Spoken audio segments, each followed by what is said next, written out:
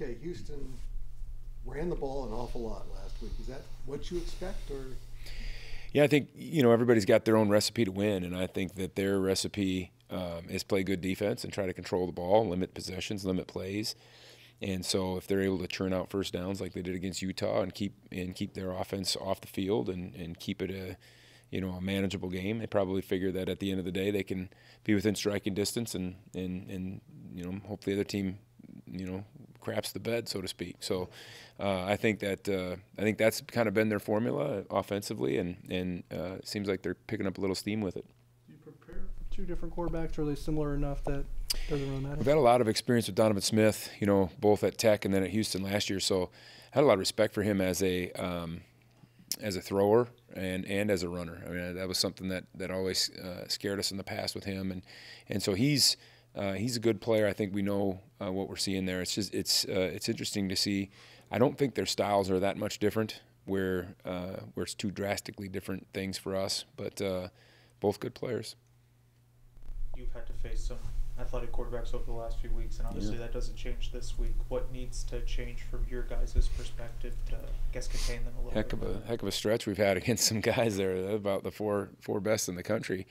Um, you know, last week we we, we um, had a couple of errors with uh, with contain, and um, you know it cost us in a couple instances, especially early in the game on third down. And um, you know, we our guys are very aware of it. I mean, we're coaching the heck out of it, and, and they know. It's just sometimes you get out there in the heat and things happen. You know, sometimes it's scenarios that are um, boneheaded, and sometimes it's scenarios that just come up because they come up. And so we, we uh, um, all we can do is talk about it and hope that they uh, are aware of it when, when the moment comes. What makes VJ Payne such an effective blitzer in the defense? Well, I think one is he studies. The, you know, I mean, he, he times things up really well, and I think he tries to.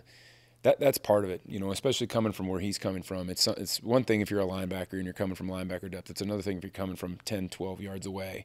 You have to have an element of timing. There's there's some blitzes that we've designed here in the past that kids have come clean but didn't get there because you just didn't get there. You know, they didn't they didn't get it blocked, but they didn't time it up well enough to get there. So we kind of have some parameters that we talk about um, with where we want them to be when the ball is snapped. And he was boy was he there. Um, you know, the couple times we called his number last week.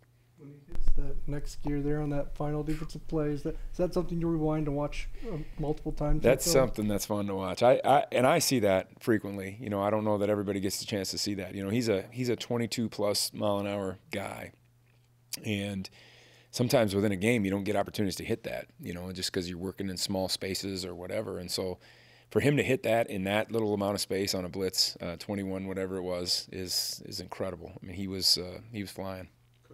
Said that Damian is playing at an all-conference level. What makes him such an impactful player? Just because he's solid, he doesn't make mistakes. He's technically perfect. Uh, I shouldn't say perfect, but technically, uh, it's hard to find a lot of flaws with what he's doing. Um, you know, uh, great understanding of what we're doing, great understanding of what an offense is doing. For example, a couple weeks ago when we played West Virginia, you know, we had um, screen was an issue for us against Colorado, and you know, kind of figured that that was going to be in West Virginia's plan. Sure enough, it was. I think he had three TFLs on screens. You know, that's just he just um, you know great feel for for the game. You know, I think that comes with with uh, maturity and experience and reps. Are going to make some plays, but it seems like you guys really play with the killer mentality out there. What kind of confidence is the defense playing with? You know, I, I think we just we just go and we do. You know, I, I think we're uh, Kansas is a tough prep for us because they they have so much. I know they're spending time on us, so we probably over prepared our guys a little bit last week. To be honest, we we gave them so many scenarios and so many things were in their head, and we had so many different things that we were going to do to different things that may or may not have shown up.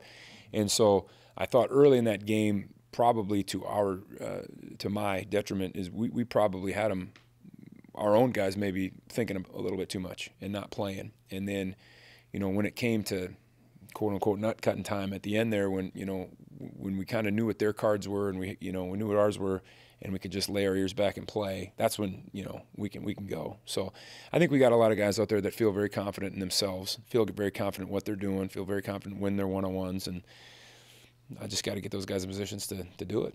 It's been a really interesting stretch. We've had three night games now, Yeah. two kind of late on the road, and one at home against your rival. Now you go back on the road. before an off week. Is there any chance that the guys are a little physically and mentally fatigued at this point?